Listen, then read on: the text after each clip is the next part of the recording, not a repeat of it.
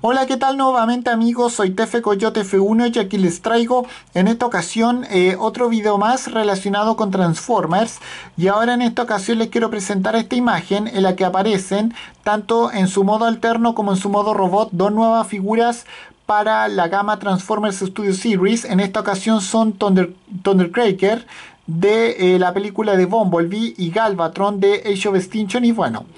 Bueno, podemos ver que acá podemos ver en modo robot a, Thundercracker eh, precisamente. Y bueno, y acá podemos verlo eh, en su modo alterno, el cual es un jet cybertroniano con aspecto triangular como en el que se transformaban los Seekers en generación 1 antes de llegar a la Tierra, precisamente en el primer capítulo de esa serie. Y bueno, y acá podemos ver precisamente a Galvatron. Eh, bueno, acá podemos verlo en su modo robot y acá podemos verlo en su modo vehículo, el cual es un eh, tracto camión eh, Freightliner modelo Argosy.